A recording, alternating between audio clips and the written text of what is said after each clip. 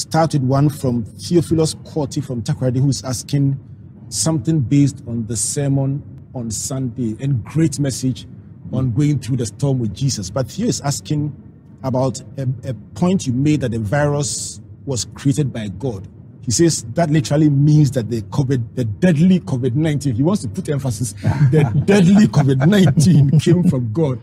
He says, yeah. doesn't this contradict the scripture in John 10 10 that says the thief comes to steal, to kill, and to destroy, but Christ comes that we might have life in abundance? He says, why would God create such a deadly virus to hurt his own creation? So that's Theo's concern.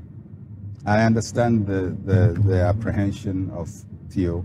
Um, God is the Lord of creation. All creation comes from Him.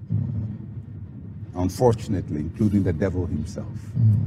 So that, that's what we have to settle. God is the God of creation. He creates storms, He creates the sea, He creates lightning and thunder, He creates the trees. Um, so, and because he's a Lord of creation, that is why we can talk to him about creation, for him to intervene in creation, because he is a Lord. If he didn't create it, he couldn't have control over it. But because he created it, he can control it. And so it's important to understand that God is the Lord of creation. I suppose the question is if God created uh, something, why is it hurting us? Uh, by the way, it's not only about the virus. Mosquitoes were created by God. And they hurt us. I know snakes hurt us, uh, scorpions hurt us. I, I suppose that if you were an antelope, you wonder whether a lion was created by God. Uh, because he eats you. Uh, and if you are a fish, you wonder whether human beings were created by God because we eat fish.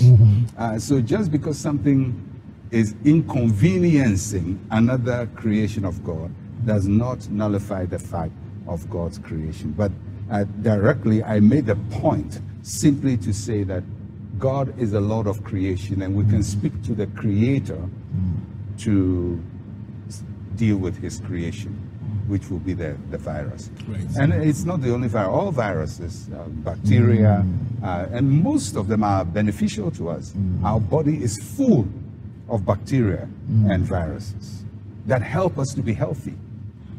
In fact, if they are not in our lives, our lives will not be healthy. But once in a while, uh, they go astray. And the reason is because creation is in a falling state. Mm. And so what God creates, which must benefit us, sometimes turns against us. And that's why we can speak to God about it to put it right uh, for us. So when human intervention messes up with God's creation and we suffer as a result, it still doesn't change the fact of God being the creator from what you're saying? Well, uh, all the scripture says all things were made by him. Without him was nothing made that is made. You know, you know, if it's part of creation, then Christ, the word of God, made it.